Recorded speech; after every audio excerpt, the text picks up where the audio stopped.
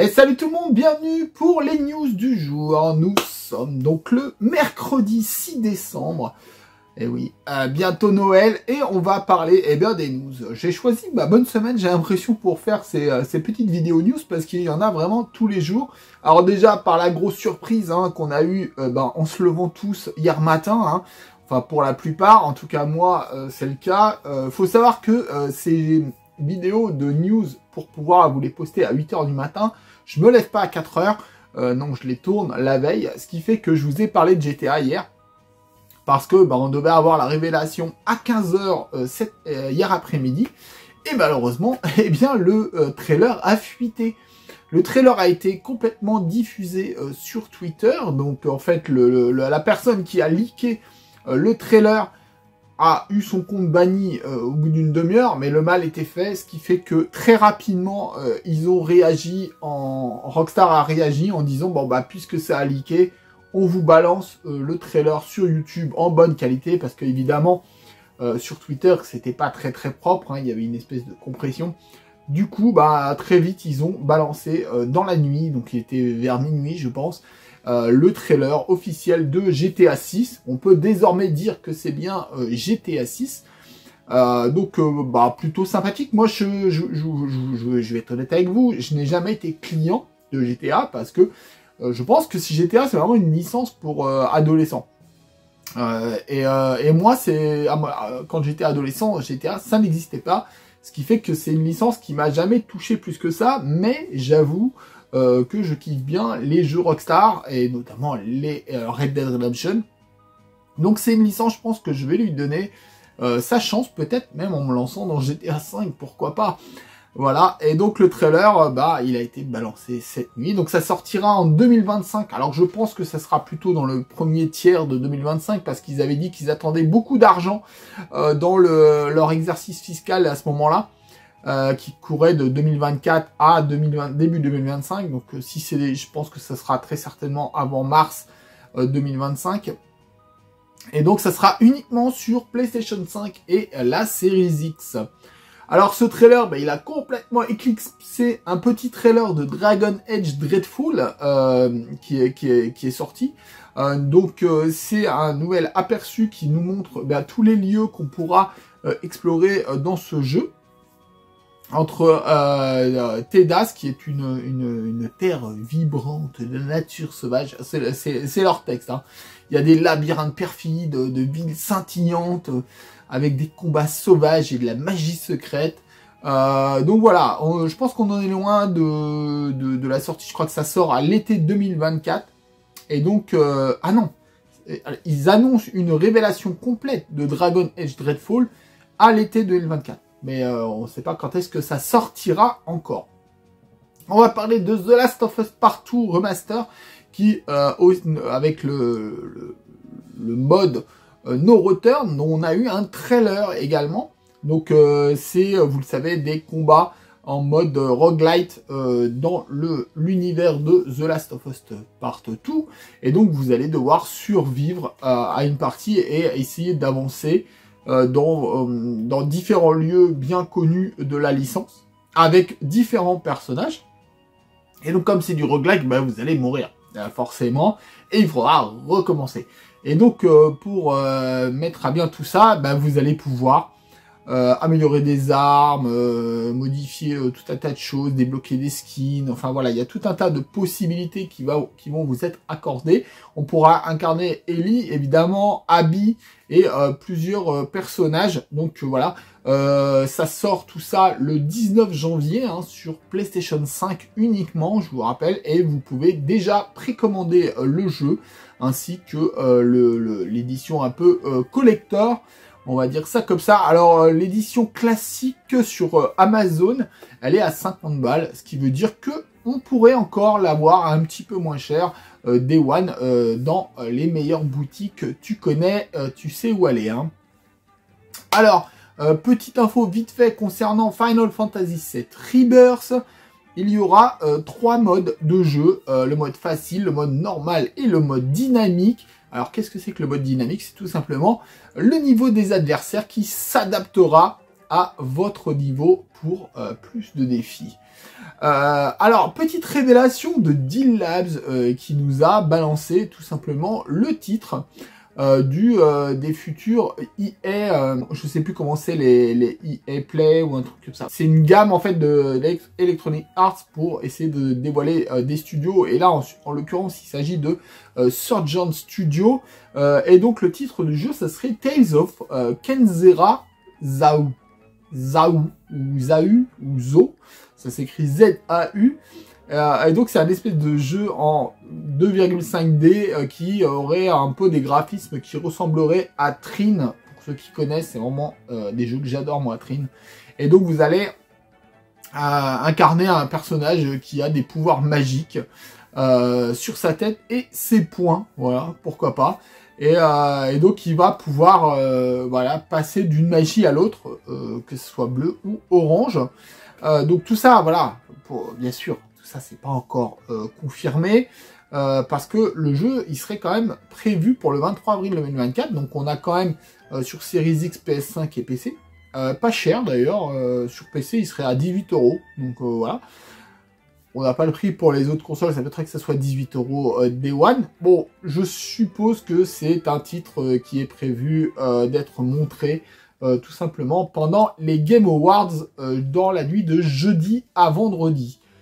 Euh, d'ailleurs, le, débrief, je le ferai que le samedi. Hein. Calmez-vous, je vais pas, euh, je vais dormir. Hein. Moi, je, travaille. Hein. J'ai un, un, vrai métier à côté. Je voulais vous parler de Vampire Survivor, un Free Adventure Update? Donc, il y a une nouvelle update gratuite euh, qui va vous proposer de faire des aventures et ça sort aujourd'hui. D'ailleurs, si vous avez le Game Pass, vous pourrez en profiter également. Donc, c'est un mode histoire euh, avec des petites, euh, des petites euh, histoires autonomes en fait. Et, et donc qui, qui, qui, vous permettent de jouer et de relancer un petit peu ce jeu de fou furieux. C'est vraiment très très addictif hein, ce jeu. Et donc vous allez pouvoir faire tout un tas de, de défis avec un arsenal limité. Voilà. Et, et, donc ça a l'air plutôt sympathique, j'avoue. Et donc c'est disponible dès aujourd'hui si euh, vous avez bien sûr Vampire Survivor. Alors, on va parler un petit peu des maths, parce que tout le monde nous dit toujours, oui, mais euh, nous sur PC, euh, ça fait longtemps que on est sur Steam, il n'y a pas de problème avec le démat. eh bien, figurez-vous que Steam va supprimer des jeux de Steam. Ouais. Alors ça concerne les possesseurs de macOS qui sont pas si vieux que ça au final parce que c'est les macOS Sierra et les macOS Mojave, Mojave, Mojave, je, pense qu'on dit, euh, qui sont quand même des PC qui datent de 2017 et 2018, ce qui n'est pas si vieux, ça fait 5-6 ans seulement. Et donc ces, euh, ces modèles de d'OS, c'est du 32 bits. Et donc, ils ont décidé de ne plus soutenir les jeux 32 bits euh, sur Steam. Et donc, ils vont purement et simplement euh, supprimer ces jeux. Voilà. Ça fait toujours plaisir hein, quand tu les as achetés. voilà. Donc, les gens qui nous disent avec Steam, on n'y aura pas de problème, le démat, il n'y a pas de souci. Bon, bah là, ça y est, ça commence. ça fait que 5-6 ans, c'est pas vieux. Donc les gens qui avaient des, des, y avait des titres comme Half-Life quand même, qui c'est pas rien, des titres comme Portal, euh, qui sont euh, concernés, qui seront touchés. Et donc, c'est finito. Vous ne pourrez plus euh, accéder à ces jeux-là sur Steam à partir du 31 d enfin, à partir du, 1er janvier 2024, en fait. Ah, juste un petit teasing de Microsoft hein, concernant les Game Awards qui nous ont juste prévenu de regarder les Game Awards si on a le Game Pass. Donc voilà, je pense qu'il va y avoir des annonces de jeux. Euh, des annonces de prix moins cher euh, Non, ça m'étonnerait qu'ils annoncent un Game Pass moins cher, mais en tout cas, si vous êtes abonné au Game Pass, ben Microsoft vous conseille de suivre les Game Awards dans la nuit de jeudi à vendredi. C'est mort, je, vais dire. Moi, je, je dors.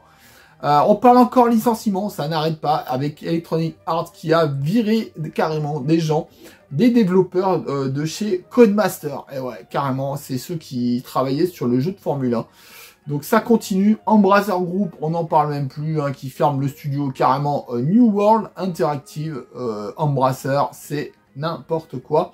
Et puisqu'on est dans les Game Awards, euh, eh bien, vous savez, vous pouvez voter euh, pour le jeu des joueurs. c'est 100% les, gens de Internet qui votent pour, pour, ces jeux. Et donc, il y avait une présélection de 30 jeux. Maintenant, il n'y en a plus que 5. Et alors, vous allez voir, la liste, elle est intéressante. Parce que dedans, il y a la porte de Baldur's... Il y, a, Baldur's Gate 3 chez la porte.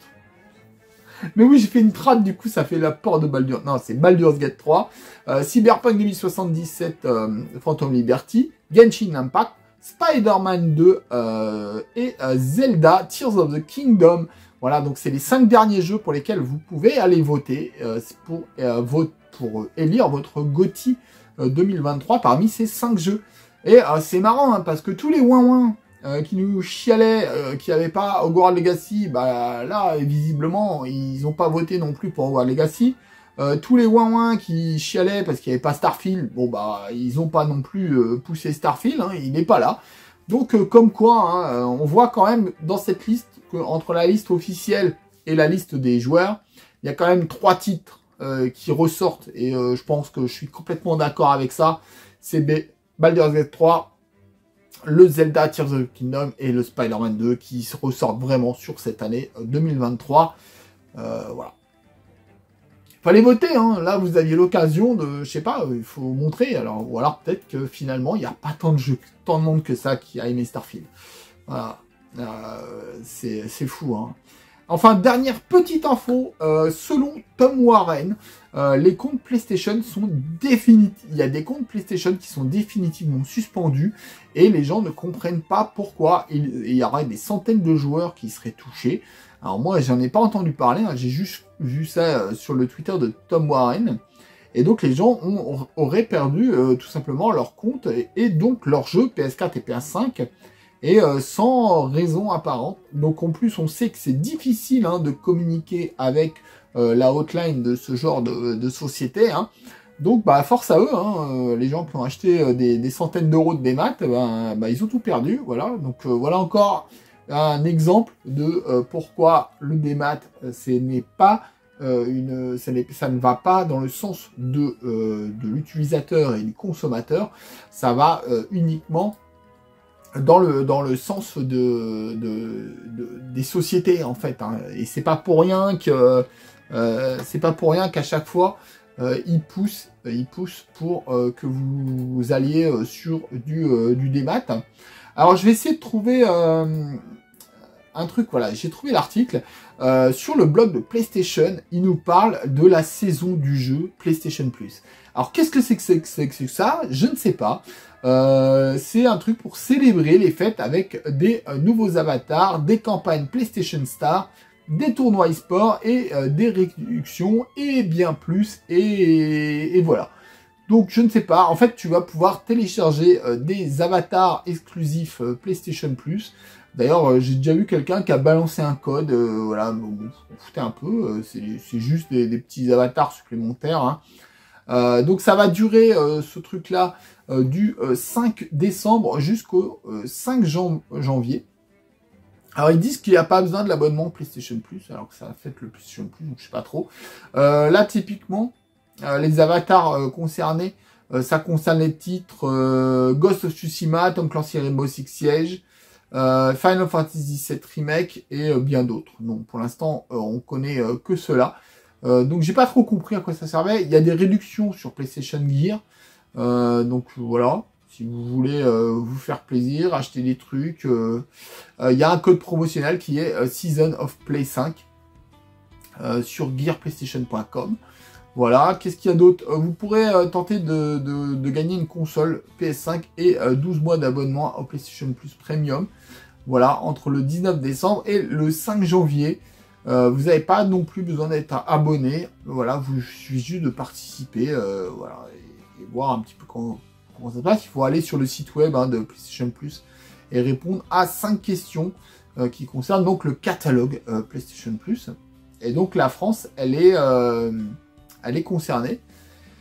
Et euh, il y a le week-end multijoueur en ligne euh, gratuit, voilà, du, les 9 et 10 décembre, donc ce week-end. Vous pourrez euh, jouer en ligne gratuitement, super, bah merci. vous n'avez pas besoin d'abonnement PlayStation Plus ce week-end si vous voulez jouer en ligne. Bah merci, hein, ce qui devrait être le cas toute l'année en, réalité. Ils préparent des PlayStation Tournament entre le 12 et le 17 décembre. Voilà, donc il y aura, il y aura plein de, tournois avec bah, sur le FIFA, sur la NBA 2K, sur Madden NFL et sur MLB The Show. donc vous pourrez gagner encore des abonnements PlayStation Plus et des trucs comme ça. Voilà, vous devez vous affronter dans des tournois hein, en 1 vs 1. Et euh, donc pendant toute la durée, vous pouvez également du coup participer à un tirage au sort hein, euh, pour vous faire gagner des trucs. Euh, voilà. Il y a la campagne PlayStation Star également qui, qui nécessite que vous soyez pour le coup abonné PlayStation Plus. Hein. là par contre, ça dure donc du 5 décembre au 5 janvier. Et euh, vous allez gagner des points bonus PlayStation Star en récupérant euh, l'un des jeux mensuels PlayStation Plus de décembre et en y jouant.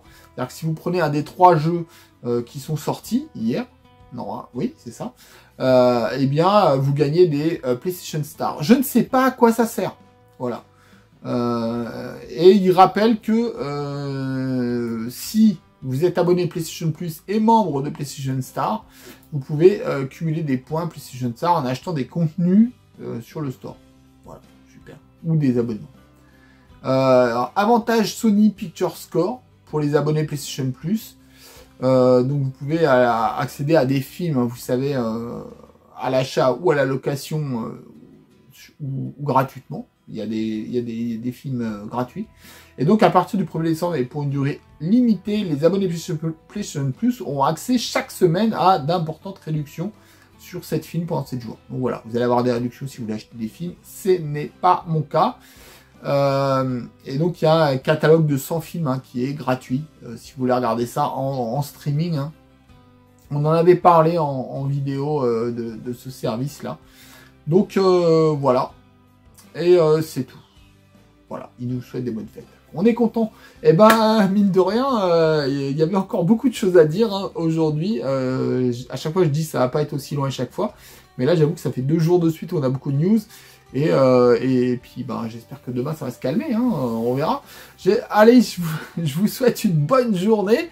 ce soir, vous allez avoir à 18h mon avis final euh, sur euh, Spider-Man numéro 2 et euh, on jouera à Super Mario RPG à 21h. Voilà, j'espère que vous avez kiffé la vidéo, je vous souhaite une bonne journée et ciao tout le monde